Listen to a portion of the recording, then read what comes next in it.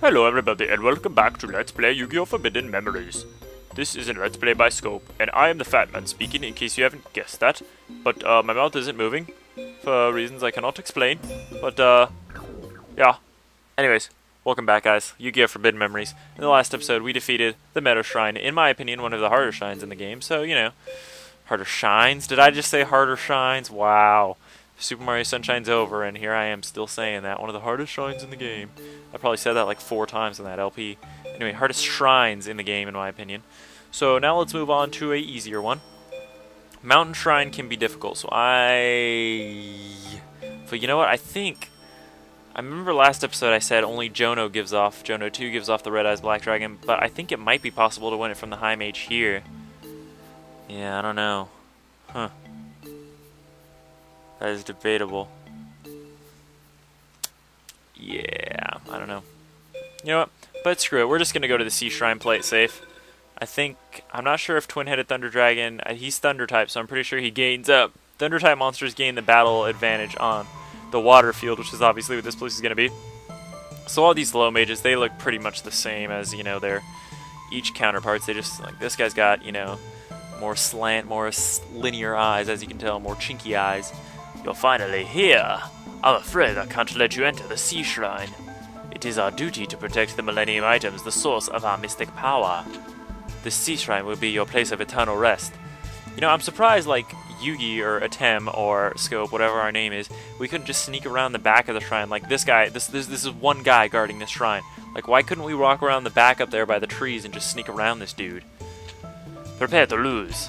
Like, I don't get that. I mean, is it, is it you know, was that not invented at this point? Is it too honorable to, or too dishonorable to, you know, sneak around the back? I don't know. Like that movie, The Invention of Lying. I guess lying wasn't invented at this point. So anyways, we haven't seen this yet in the game. This is the water field, or sea. Uh, you can use this, you can turn it to this by making getting the Umi card. Fun fact is, in my last playthrough, uh, ahead of this game, my deck was actually based around a sea deck, so I had the Umi card and I was in extreme use of it. A lot of decks I've used in real life too when I used to play Yu-Gi-Oh! were based around uh, water and sea type monsters because, you know, I just love water. That's true. I just love the ocean and everything about it, so I've always appealed to water monsters. You can call me Mako Tsunami if you please. But anyways, this guy shouldn't be too strong. Um, you know, Skull Knight should be good. And uh, a general rule when fighting got people that use water type monsters like these two mages and uh, Isis or Shizu they tend to use water monsters, which a lot of those have the Guardian Star of Neptune. A lot of them don't, but so a general rule is if you have a monster with Pluto, set it to Pluto because Pluto defeats Neptune. Chances are you will be effective against them. So Firewing Pegasus is a fire type monster. Oddly enough, he's not powered down by this field, which is interesting. I don't. Then now, now that I come to think of it, I don't know if any monsters are powered down by these fields. Or field's powered down monsters, period. Alright, so we got a Boulder Tortoise here with 2700 attack. 50, just 50 too much for Skull Knight to take out, which is bullshit. Bull hell. Oh, what are you going to set down? Is that a magic or a trap? Oh, it's a magic. Good. I'm not afraid then. Right, so what does that guy have? Uranus. So we need somebody with Saturn. Um, Paradragon does have Saturn, but he would only boost up to 2500 attack, and that is... Oh, you do get powered down, because look, Vermilion Sparrow is Pyro type, which is what that sign means, and he is powered down. Holy shit. Yeah, I guess, I don't know why I didn't remember that. Alright, so we can get rid of some of these monsters. We don't need all these dragons, so... Let's get rid of all these guys. All these guys are going to be useless. And I'll just throw a Dragon out there, just because he has Saturn, so why not? And let's just see that beautiful, yeah, yellow lines. Great, doesn't I should turn one of these guys into defense mode to lure this guy into attacking. That way I can kill him. Yeah, I'll do it. I'll risk a Paradragon. Let's see if he goes for it. Let's see that. No, you're not doing that again. You do that like every time you see, let's see. Ooh, man-eating black shark, eh? Nicely done. Oh, but you left Boulder Tortoise in defense mode, you puss. Alright, what can we do here? We can do, ooh, let's do Thousand Dragon with a thousand extra attack for 3,400 attack. I could have just equipped both those Bright Castles to Skull Knight and gave him 3650 attack. But I'd rather have a 34 and a, you know 26 than a 36 just straight. 36 and a 24. You know what? Doesn't even. It's really not that big of a difference. Don't listen to my rambling. It's honestly not important. Um, Alright, so let's use Skull Knight to take out this man-eating black shark. Man-eating black fuck. And then uh, Half Thousand Dragon annihilate the Boulder Tortoise. Yay! And now, uh, what's your face? Paradragon, you can resume attack mode and chomp into those life points. Just nom nom those life points, dude. You know what to do. Yeah, we're definitely not going to get an S rank on this dude. Although I'm sure in Free Duel we'd be able to without his stupid water advantage. Even with his water advantage, this guy is shit. I mean, these low mages are nothing now. I don't think I'll... I hope I won't even lose to one the whole rest of the game. There's no reason I should. Unless they, you know, get, like, ridiculously lucky. What do you got there? 2600 attack? Well, how do you feel about being defeated by only 50 extra points? Just being nudged over just by that little bit. Because I know it makes me feel like crap. I need to do some more 3D battles. I'm sorry, guys. I've just been forgetting that. I forgot the whole first half of the LP that it even existed. I mean, I knew it existed, I just forgot to show it, but I need to get better with that, is the bottom line. And we win. What do we get? Turtle Tiger. Shit card. Absolute shit card. This guy's not that good for grinding. He doesn't get off, give off too many good cards, except for like maybe Roaring Ocean Snake, which only has 2100 attack. No, it cannot be. You weren't meant to win. Secmeton, forgive me. And in case you don't never played this game before, Secmeton is actually the High Mage here. And I believe he is supposed to be um, chronologically the first one you're supposed to face here. And this guy, let's let's give this guy the lowdown on looks. You know, like CasMG, California on looks, Egypt on looks. He's got a, okay, he's got little tigers for his shoulder blades, and it looks like he's wearing some robe that slightly resembles his beard, which is weird. And then he's got this huge tiger, you know, helmet, which is cool because it reminds me of that movie Gladiator. All those spikes aren't necessary. And, uh, I don't know, the top of his head is just really dark and he blinks a lot. I am High Mage Secmeton. Since time immemorial, it has been our duty to protect the Millennium items. Time immemorial? Dude, it hasn't been that long. I was just here like, you know, five, ten episodes ago, bro. I just stopped to a tournament real quick. And we shall never allow them to fall into your hands. And wait, no, it's not it's not time immemorial, because Jono and Teana are still alive, so I know it hasn't been that long. So don't pretend like you don't remember. I mean, come on. Prepare to face my seed and prepare to meet your doom. You shall pay dearly for your folly. I do like this guy's vocabulary, though. Folly and time immor immemorial. Yeah, so there's Turtle Tiger. Pretty crap. Just a basic card. Anyways, Secmeton is pretty powerful here. Thankfully, there are no real water monsters that are like super powerful in this game, like, you know, Gate Guardian status, that he can benefit from the field too much. So he's just going to have generally strong cards, but uh, nothing too overpowered, so that is good. Kaminari attack is Thunder, so he does benefit from this. But what's even better is Twin-Headed Thunder Dragon benefits from this field, so he's going to have an initial 3300 attack. Throw a Bright Castle on him, and you've got 3800 attack. Not to mention, we have another Bright Castle and a Dragon Treasure we can equip to him later to give him 4,800 possible fucking attack in this bitch. That will kill anything this guy can, will, want to, or even dream of attacking us with. What do you got? Yeah, I didn't think so. I didn't think so, motherfucker. Did I give you Pluto or Moon? Dude, why the fuck did you give him Moon? You are... You are... This is a good burger. okay, that reference didn't even make sense. I just... he In the movie, he says it with that, you know, exact tone. This is a good burger. I said... Whatever I said. So yeah, he's gonna throw out a Neptune. Oh, Crab Turtle. Yeah, that's a ritual monster. Ritual monsters in this game, it does still work. You can get ritual cards by S-teching sometimes, and uh, how it works is it's just going to ask for three random monsters, and you have to have them on the field. Activate the ritual card, and that monster will be summoned. Simple as that. Um, it's really hard to pull off, and it's a lot of the ritual cards are even impossible to get in the American version, so don't worry your pretty little heads about it. And look at this, we've got fucking... Dude, how many times have you said the F word in this episode already? Seriously, calm down. Look at that, we've already got three Twin-Headed Thunder Dragon. We've got three monsters with over 3,300 attack. Dude, maybe we should get it. We need to get an Umi card. Oh, look at that, a Dark Magician. Cool. We need to get an Umi card, because look at how overpowered we would be right now. and just like that, we defeated High Mage Secmeton. So much for that guy. What a D-bag, right? Yeah, I'd say he's... If I were to, um, you know, order these guys, I would say Secmeton is the easiest by far. Because there's no real super powerful... Ancient Tool, I don't know. We S-powed him, though. That was good. Not sure what that is.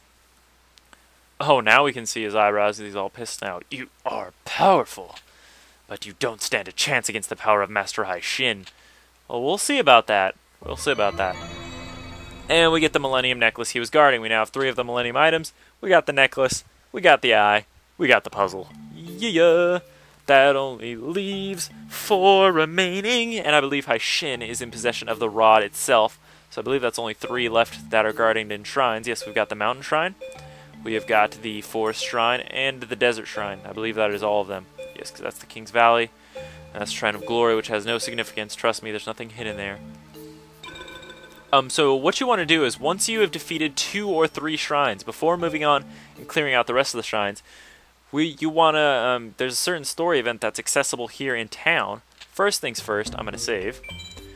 A story event that's here in town, and this is how you access one of the characters to unlock in Free Duel that you normally wouldn't have access to. A lot of people miss this their first time through the game. I know I missed it at least my first 10 times through the game. And uh, I haven't had many more playthroughs than that. So let's leave the shop and now I believe we want to go back in. And I believe we want to go to the dueling grounds and some storyline crap should pop up. What can you do for me? You can take me to the dueling grounds, dude. And Jono. Scope, we got some trouble. Uh-huh. So once you've defeated two or three shrines, I believe that's all you have to do. Come here and this storyline event will trigger. If you've defeated more than that, you will miss this part completely, especially if you've defeated them all. And if you've only defeated one, I believe it also doesn't trigger too. So What's up, Jono? Seto and the mages came here while I was gone. They took off with Teana. They want you, Scope. They figured they can drag you out with Teana as bait. Come on, Scope, let's go to the shrine and rescue Teana. Yeah, so this is kind of premature. Like, holy crap. I mean, they kidnapped Teana already, and now we're going to the vast shrine, you know, Heishin's lair. This is it. This place giving me the creeps. To be honest, I don't really like being here. Seeing how there's no mage around to stop us, we can assume they're waiting for us. Yeah, so now there's no mage at the front gate. We can just walk right in. Come on, let's go. I do feel better with Jono at my side, though. That, that makes me extremely happy. Oh, what's this? It gives me great pleasure to welcome you. It gives me great pleasure to welcome you fuse to your own funeral. Scram, we got bigger fish to fry. Okay, so we're gonna get sent into a... Ooh, so this is the ancient tool, huh? Man, that does look like a tool bagel. Anyways, we're sent into a premature battle here with the Labyrinth Mage. Um, this guy you're not supposed to duel till a lot later in the game, so he has super powerful cards. I do urge you to be careful here. Um, because this guy will kick your ass if you're not ready. So, um, looks like we got some pretty good draws here, so we should be okay. Let's see what we can do here. A twin-headed Thunder Dragon should be able to hold up against this dude. Yeah, so this guy is pretty much the equivalent of Para or Dox or Paradox in the anime, so can, you can best you can best believe he does have the uh, Gate Guardian card, and I'm pretty sure he just has the three pieces of the Gate Guardian too, which is Sanga of Thunder, uh, Kazejin, and Suijin. So let's summon Gaia the Fierce Nightshade. He's the strongest dude we got in our deck right now, or not in our deck, but in our hand. And what is that, Pluto? Um, I'll attack with this just to be safe. Oh, it was the Song of Thunder. Speak it of the devil. Cool. Alright, guy, you best attack those life points, boy, because we know you're going to die next turn. He's going to summon somebody that can kill you. I think he's got three of each of the uh, parts. Yeah, that's going to be Suijin. Yeah, I knew it. I could tell because it was Neptune. Trust me, this guy's so predictable. Funny story is, uh, when I was a kid, actually, and I was really into Yu-Gi-Oh!, I had the two pieces of Gate Guardian, and I was just obsessed with him at one point, um, getting all the pieces of the Gate Guardian cards for my collection. And I had the Sanga of Thunder, and I bought Kazejin for like $15 at the store, which was a lot back then because I was a kid and I didn't have any money.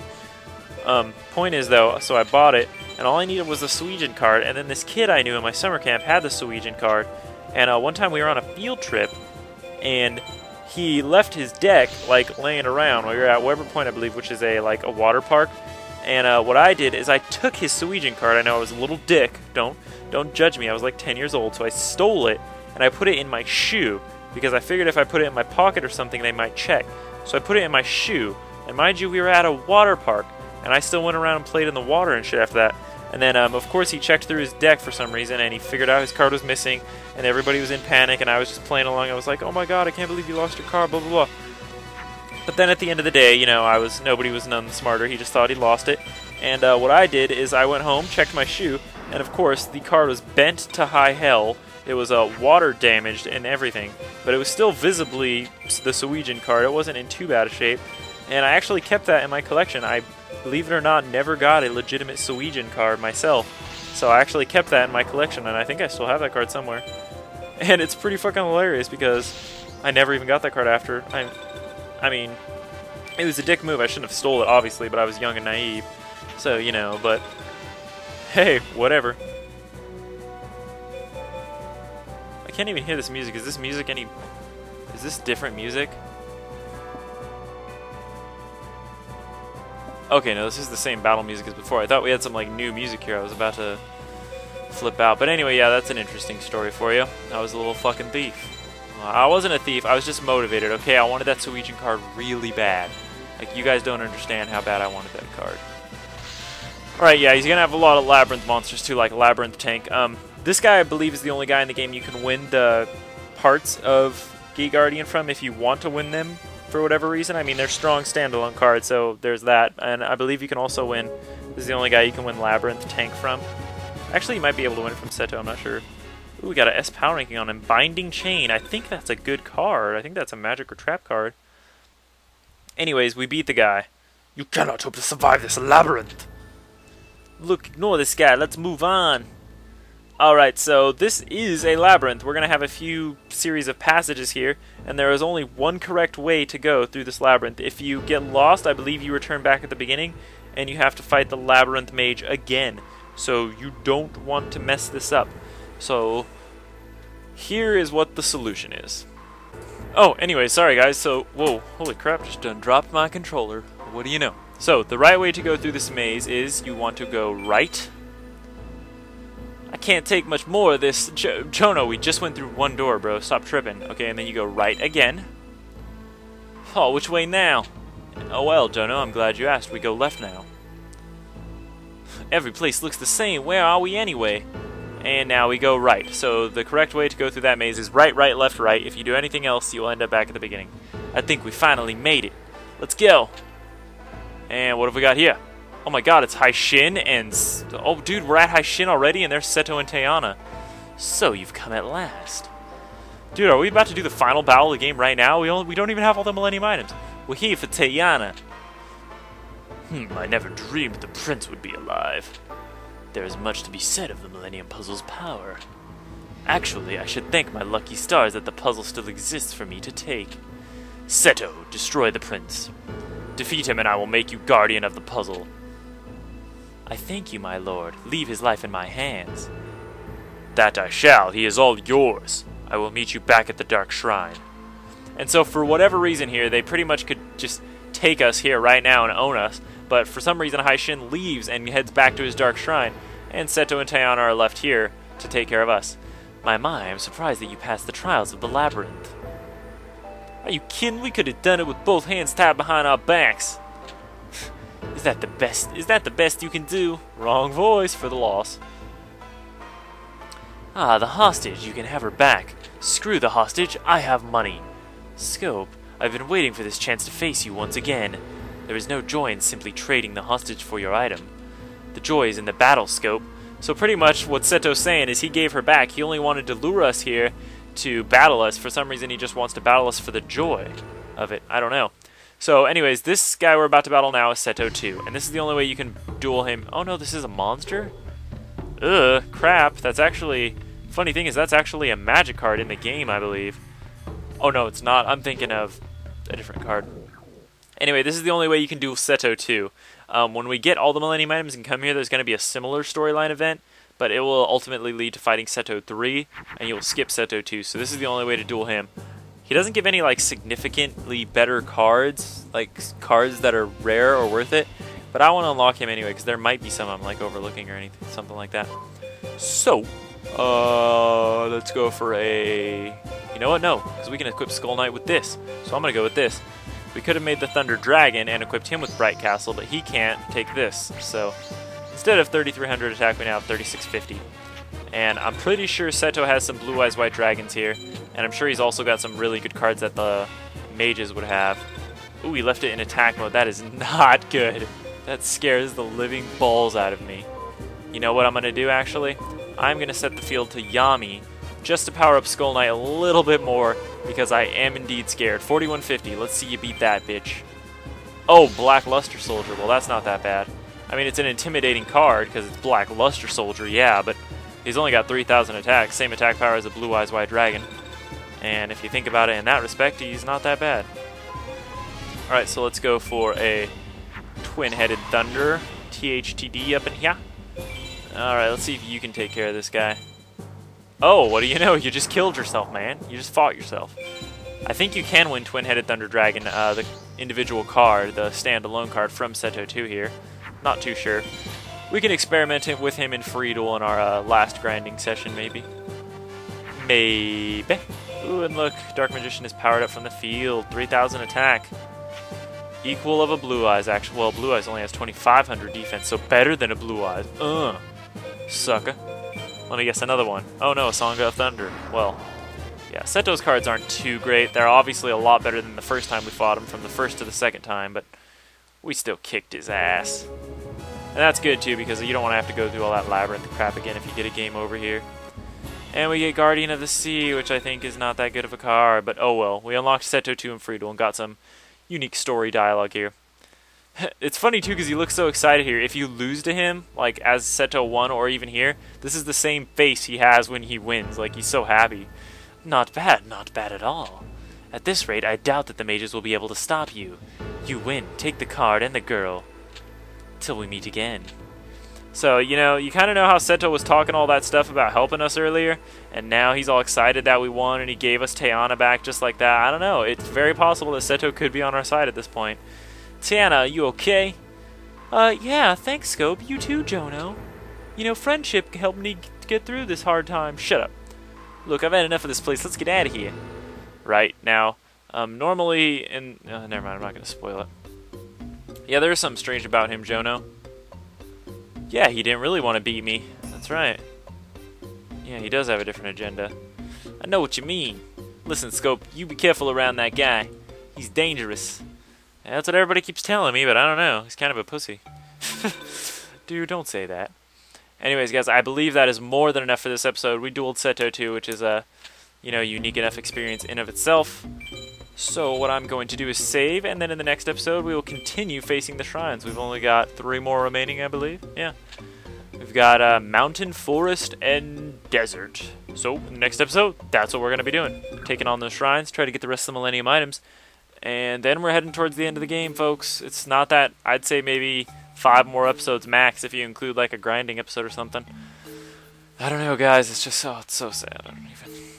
I, this game is not going to end ever. We're going to extend it as far as we can. We'll do 100 grinding episodes if we have to. I don't even care. I can do what I want. It's my LP. You can't stop me. Anyways, guys, that's it for here now. We are done with this episode. I'll see you guys next time. Thank you for watching. I bid you adieu.